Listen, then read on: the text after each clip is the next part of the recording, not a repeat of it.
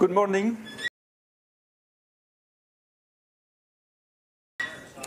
I'm Frederik Questier. I'm working at the Free University of Brussels, but not this one, not the French-speaking one, but the Flemish fork of it. Main campus being one kilometer from here.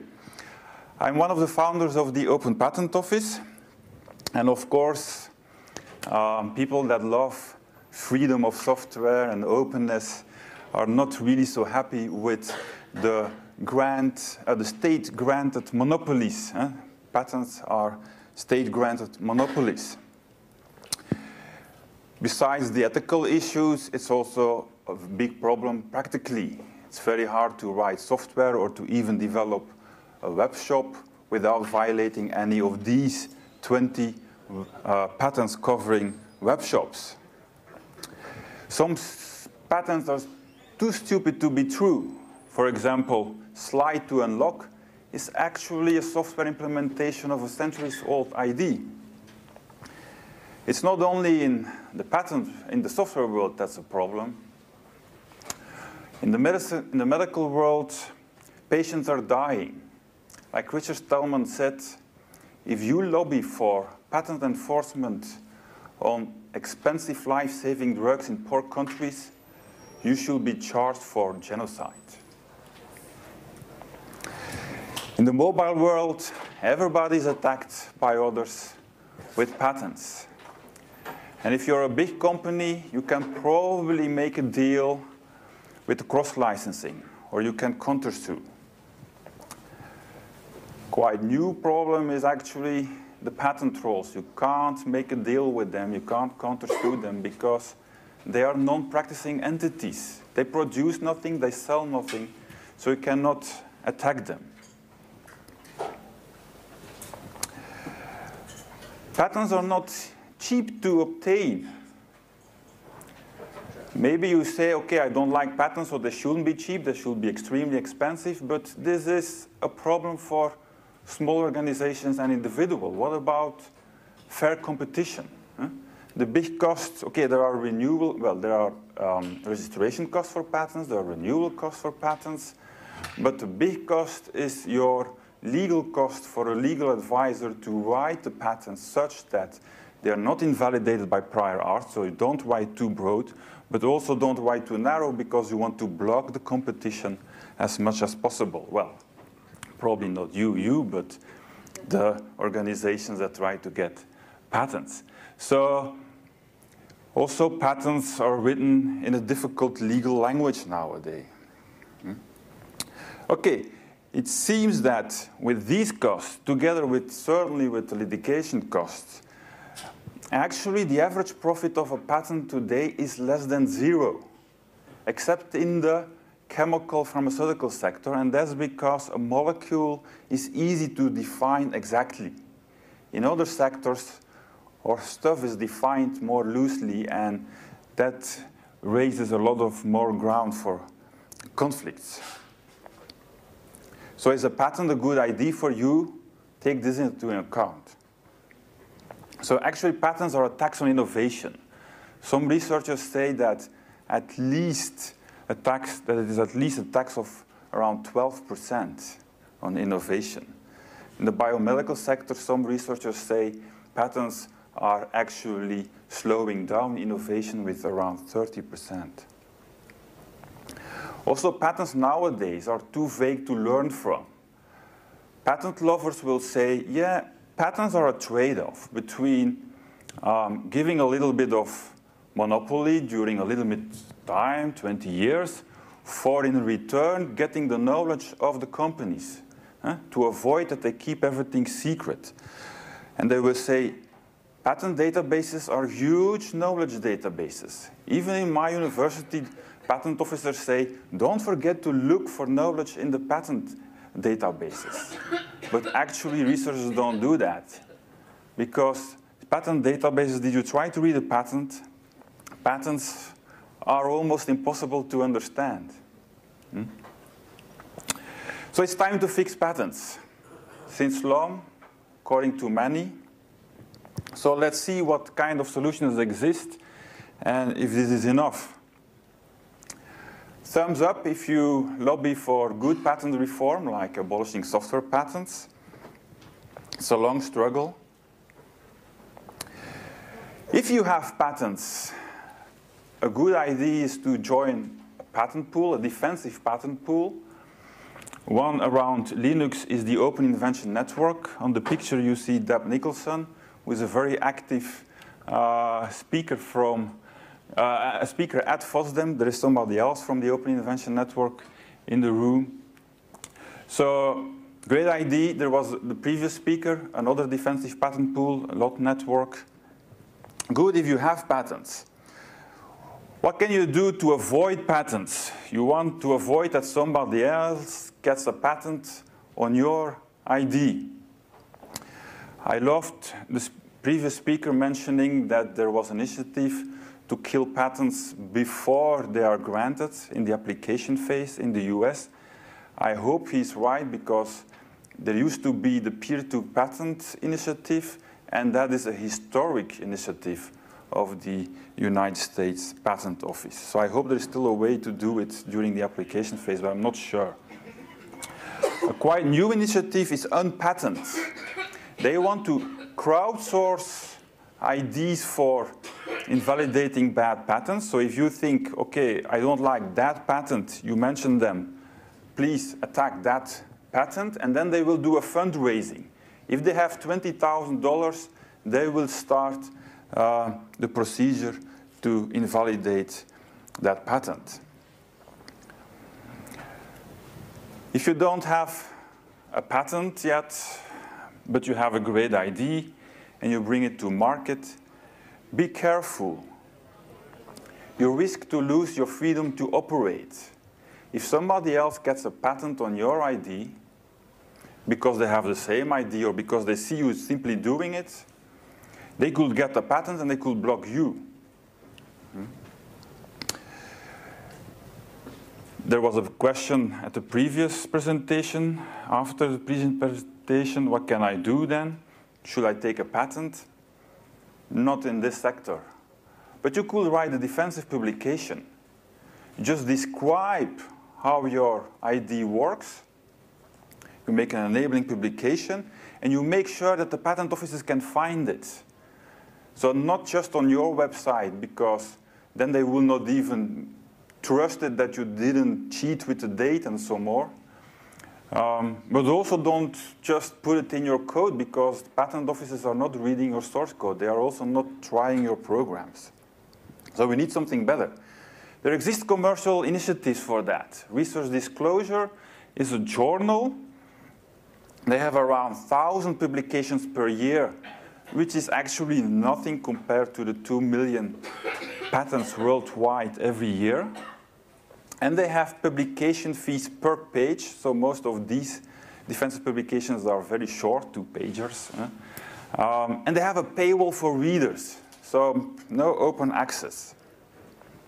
Another one, IP.com, very similar, 10,000 publications per year, so very small compared to the number of patents yearly.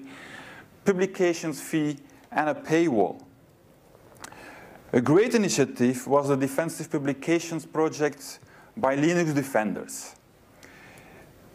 They collected, with your help, defensive publications around Linux software, a little bit broader than Linux only. The and they submitted it to IP.com, where you have to pay the publication fees, but they did this, this for free with sponsoring. So no paywall also to read because they republished it. The problem is they only got 156 publications since 2009, and the last one was in January 2015.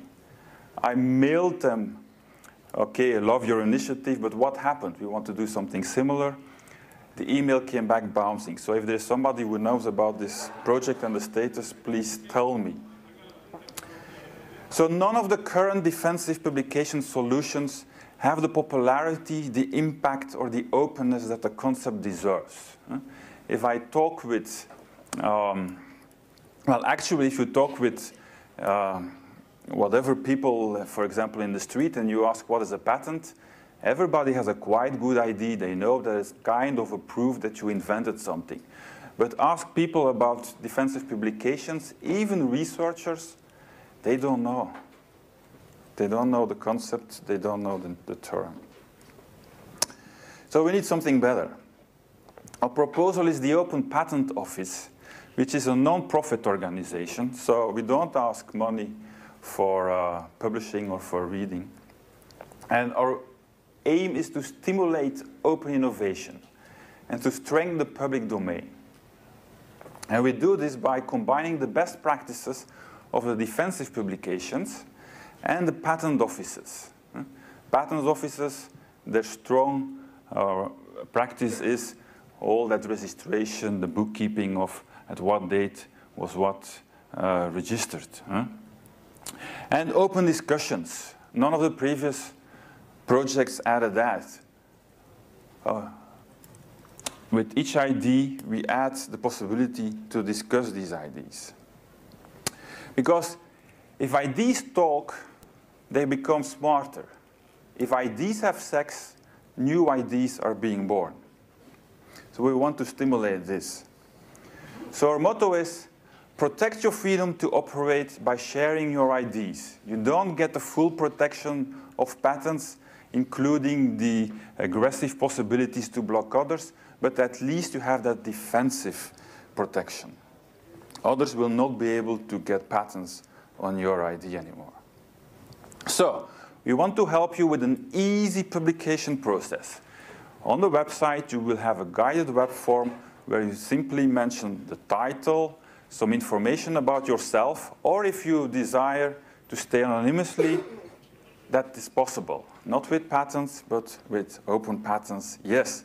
You give an abstract, a summary, background, problem statement. You mention prior art, very important. Patents should also do that, but are sometimes trying to avoid to give the crucial prior art. Give an enabling description. That's the most important part. You need to give a full description so that somebody else can implement your ID. Add figures if relevant. If you push the publication button, you get immediate publication.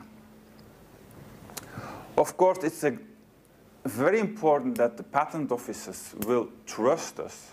So we will guarantee the authenticity and the date by a date stamp. And then we can do much better than others by, for example, giving cryptographic hashes of the open patent, cryptographic signatures. Blockchain is probably overkill. And we can let others do mirroring of our database. We need to make it easy for the patent offices, the traditional patent offices, to find your defensive publications. So we'll give them search engine, tags, and API to integrate their software. But we'll also follow the international patent classification. Not easy, even me, the first time when I tried to search for software patents in the national patent classifications, I didn't find them immediately. They are hidden under business methods. We give RSS feeds so that innovators that want to follow something about their own sector can easily do that. And we facilitate, of course, citations. We want to improve the quality because, of course, spammers will also like our platform. So we will stress the importance of having a good enabling description. We will do quality control post-publication. And this will probably still need some research how to do this uh, in the best way. And we will give quality metrics. An open patent that get more citations, of course, is probably a better open patent than another one. You hear me mentioning open patents, and an open patent is actually not a patent. It's like GNU is not Unix.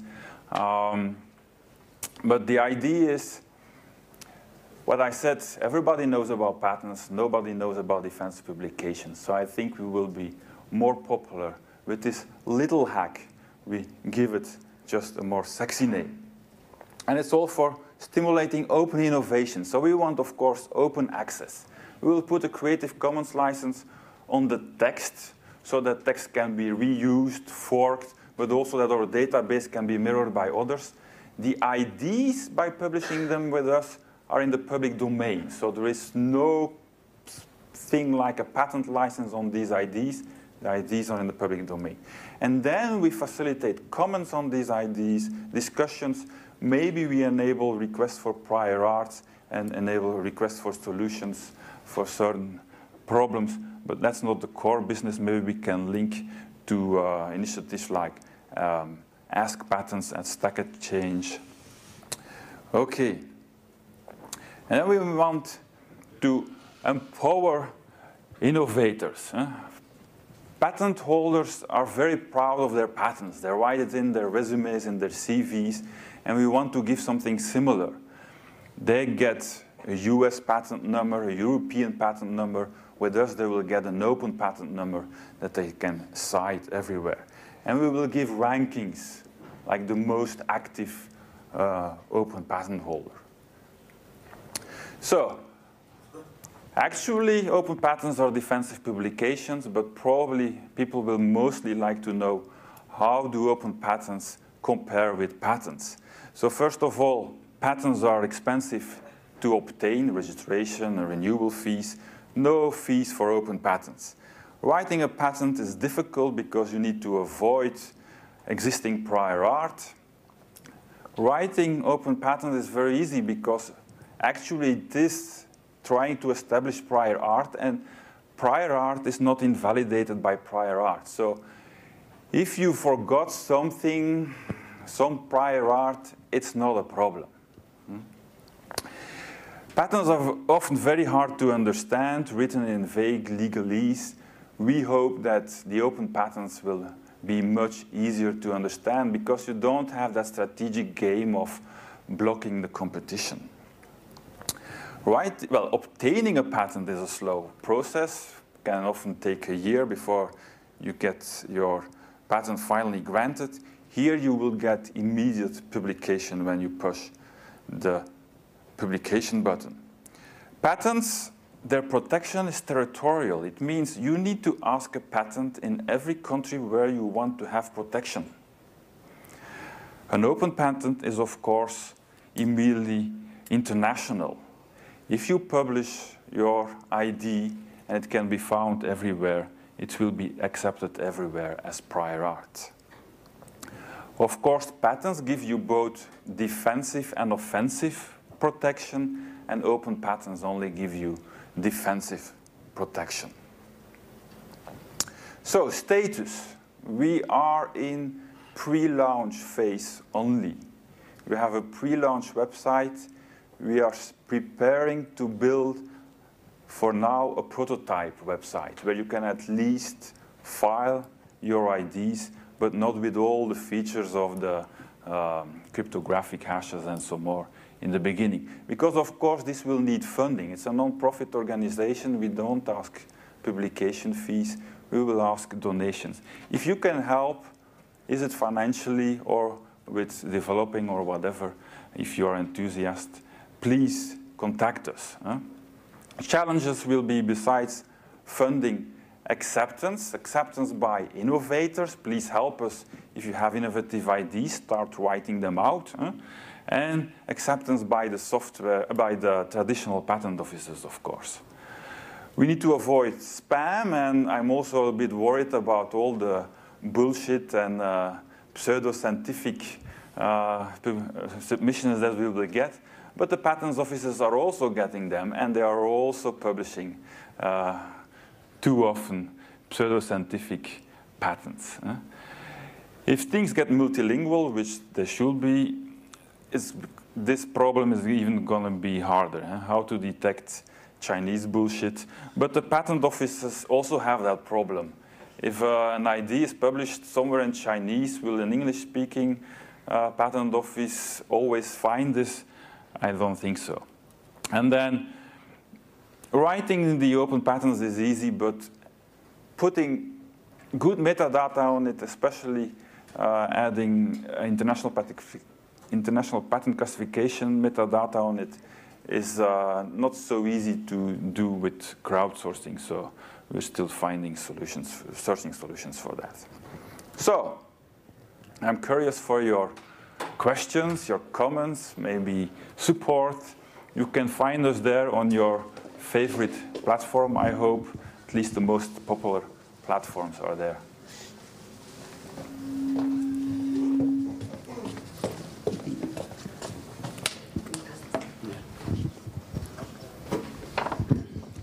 Hello. Um, first, a disclaimer. I'm Mirko Böhm. I work with the Open Invention Network. So I was the guy that said, yes, these, yes. these talks are exactly what we need.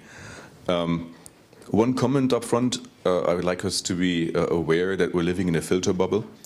Um, we are in some form a minority, but we probably all here agree that patents on software are a difficult issue. Um, if you leave FOSDEM and you talk to other people in Brussels, you'll get blank stares.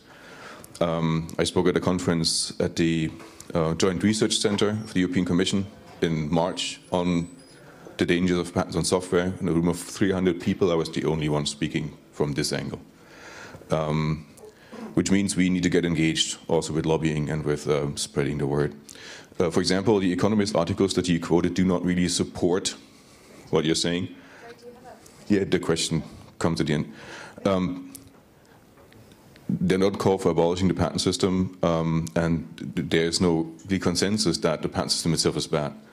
Um, I think the terminology is important. Um, the, as you said, defensive publications, and the issue with uh, Linux defenders is um, Linux defenders is still there. It's just nobody's writing defensive publications, and this is kind of my question. You said you want to make it more interesting by, by giving it a better name.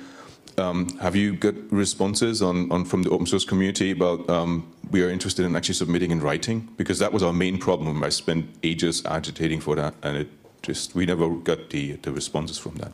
Yeah, good remark. Uh, maybe filter bubble, but on the other hand, I talked a lot with researchers in my universities from different fields, and actually there are none of well, none, I didn't encounter. Uh, researchers that are fans of patents, their, their job is sharing knowledge. So they don't like the restrictions of patents. Of course, what they like is the big money that could come from them, but they are quite realistic. The patent officers in the universities are more optimistic about the possibilities of the patents and always remind us don't forget the possibilities of patenting. So, yeah, researchers like this idea, and I have researchers that say, ah, yeah, okay, I'm going to start writing patents. For example, the, uh, the people from mathematics, mathematics is not patentable, and they feel like, why not? and they love this idea, like, okay, I can write out my ideas at least at, uh, at the Open Patent Office, because we will not restrict anything, uh, because it doesn't harm if you write a defensive publication. So, yeah, I'm optimistic also because, for example, I talked to some patent attorneys and they say, okay, only now I get it after your talk about Open Patent Office that actually we patent attorneys very often have to tell our clients like, okay, for this ID, eh, going for a patent is not the best strategy. And then they do nothing.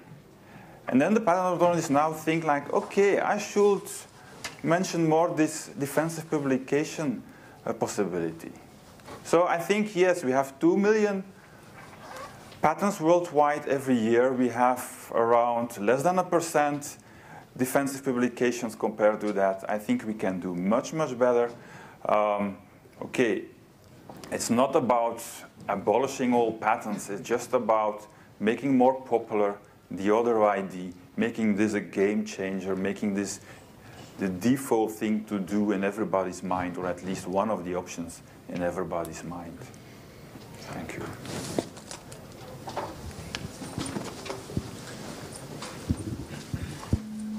Yes, hi, great initiative, and I hope it will survive a long time. But as you saw with the Linux Defender website, it, there are circumstances you cannot foresee. So um, you mentioned blockchain and that it would be overkill. So what I'm saying is blockchain might be the only way to um, put it out there in all eternity. well, as long as some computers are running, but and uh, yeah. Uh, my question is, why do you think blockchain is overkill and why it's not the solution? Well, in which blockchain will you put it? If you put it in the in the Bitcoin Well, if you put it in the Bitcoin blockchain, I think it's not big enough and fast enough. Maybe if you are very popular. Um, but it's a bit overkill that it gets distributed so much. If, if we have, okay, you can have a blockchain, a chain of proof, like you calculate the hashes. Yes, indeed, yes. But also it costs a bit, for example, if you do it with Bitcoin. So, okay, it's not excluded the ID, it's a nice ID. This is part of the, well, the research behind it.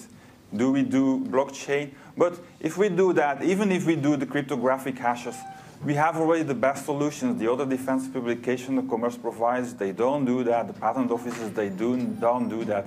So indeed, these are some other things, technical issues, that we can improve a lot on. So I try to do this without too much causing feedback loop. So am I right? It's technically a defensive publication with an easy to access interface, but from a technical point of view, it's, it's a defense yes. publication. Yes, it's a defensive. Legally, it's a defensive publication, but we add a lot more openness than with the current solutions. Not just open access, but also open discussion, so that people can discuss, okay, nice idea, but you could add that we have time for one more question. So uh, people just who had the questions, raise your, okay, because there were a few people who had their hands up before. Uh, yeah, I have two questions actually. So first one is simple. If if everything works correctly, if everything is implemented works correctly, will those be accepted as prior art? That's first question. And the second question, will it be easier to implement things uh, avoiding the multilingual aspect? So take one language. Let's start okay. from one language. I don't see why, if this is working well, it will not be accepted by the traditional patent offices. If they find your website, if they find your website, they could accept it. If they trust that the date is not cheated and so more, any publication in theory they could accept. And with all that trust that we're trying to build, probably going to be accepted and there exists something like patent treaty where it's written which sources at least the patent officers should check, and we hope we can get in that whitelist. Uh, the second question, the multilingual. Okay, that's not for, I guess, uh, the first year. That's a bit of a challenge, but if we are growing and we have uh, maybe ambassadors in every country or in every language, this should be doable. And well, over a few years, uh, machine translation will be, will be improving and uh, that will probably also help. Thank you.